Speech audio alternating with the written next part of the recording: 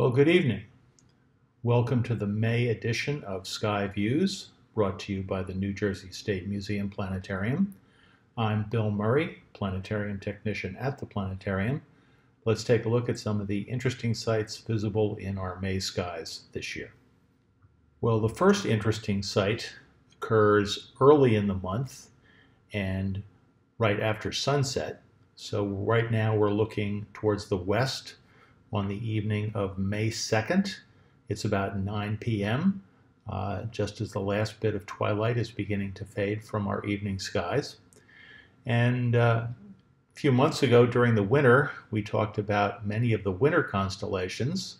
Uh, we can see them now very low on the west. They're beginning to set and will not reappear until next winter. Uh, but they do have a few sights to show us before they disappear for good during the summer months. So if you take a look right above the western horizon, you'll see the constellation of Taurus, the bull, which is easily recognizable by its V-shaped asterism, a group of stars called the Hyades, that's a star cluster, uh, lit up by its brightest star, Aldebaran, marking the bullseye.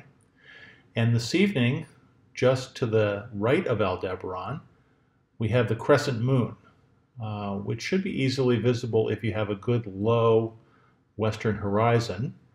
But in addition to the moon, uh, a little bit um, below and to the right of it, we have the planet Mercury. Of all the planets that we can see in our solar system, Mercury is probably the toughest planet to view uh, because it's never really that bright and it never varies, varies very far from the sun. Um, so it's either very early in the morning sky or very early in the evening sky. Uh, and this is the best apparition of Mercury this year, but you do need a good low horizon to be able to see it. And then below Mercury is the bright star cluster M45, the Pleiades. So in a line in our evening skies, we have the crescent moon, the planet Mercury, and the star cluster, the Pleiades, although you may need a pair of binoculars in order to be able to see the Pleiades uh, with the bright sky in the early evening. Well, we've now transitioned forward in time to the evening of May 15th. It's about 10.30, uh, and we're looking towards the southeast. And just as the winter constellations were setting in the west, the summer constellations are now starting to rise in the east, so we see the uh, kind of dim and obscure constellation of Libra, the scales, just above the eastern horizon, and below it the much brighter and more familiar constellation of Scorpius the scorpion. Uh, but both of those constellations will be drowned out early this evening uh, by the full moon. You can see the moon in our uh, diagram here in the constellation of Libra. And if you're out on the evening of the 15th, about 10:30 p.m., and take a look at the moon, it may look a little bit strange to you. And that's because we're going to be treated to a very deep total eclipse of the moon that evening. We talked about lunar eclipses in last November's edition of Sky Views, uh, when here in New Jersey we got to see a very deep partial eclipse of the moon uh, very early on a cold November morning. The reason why lunar eclipses occur is because the moon in its orbit around the Earth sometimes moves through the Earth's shadow. And so we get to see over the span of several hours the moon gradually disappearing into the Earth's shadow and then finally immersed in it. Over the course of several hours, starting uh, late on the evening of Sunday, May 15th, uh, the moon will gradually move into the darker part of the Earth's shadow, called the umbra, and will begin to slowly disappear. And then finally, when it completely enters the umbra, it may appear to be very reddish uh, or dark gray. Um, most of the time it's reddish. Uh, it will stay that way for about an hour or so, and then over the course of several more hours on the morning of May 16th, uh, move out of the umbra and gradually become bright and completely visible again. The reason why the moon appears red during a total lunar eclipse is very interesting. Uh, although the Earth's umbra is much larger than the apparent size of the moon out of the distance of the moon, so the moon does get completely immersed in the umbra for over an hour, uh, the umbra is not completely dark. And the reason why is sunlight gets refracted by the Earth's atmosphere uh, into the umbra and appears uh, reddish light, uh, which ends up uh, reflecting off the surface of the moon. Essentially, if you were an astronaut who was standing on the moon during a total lunar eclipse and were looking at the Earth, you would see the Earth surrounded by a circle of red light.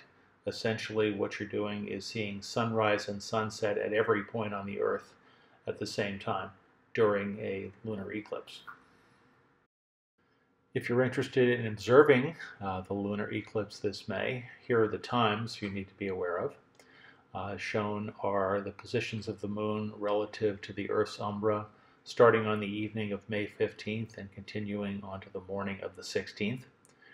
So the partial eclipse phase, when the moon uh, begins to enter the umbra, occurs at 10:28 p.m. on the 15th.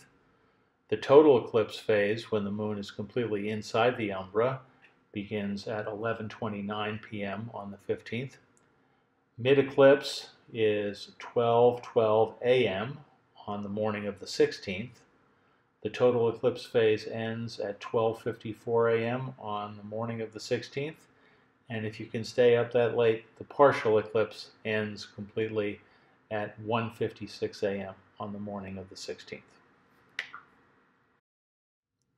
As a final treat this month, for those of you who are early risers, uh, we've now transitioned forward in time again.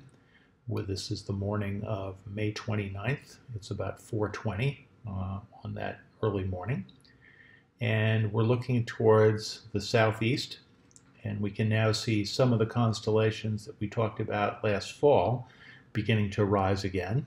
Uh, beginning their apparitions for this year. They'll be again prominent in our evening skies next fall. Uh, but that's not what we're going to talk about. If you look low in the eastern horizon, you'll see two very bright objects, uh, the planets Jupiter and the planets Mars, having a very close conjunction on the morning of the 29th. The two planets will be separated by only about a half a degree in our evening skies. That's about the apparent width of the full moon and uh, you can definitely see them in a good pair of binoculars or a small telescope, which will also easily show you the color differences between the two planets. Uh, Jupiter definitely has a yellowish tint to it, while Mars is red.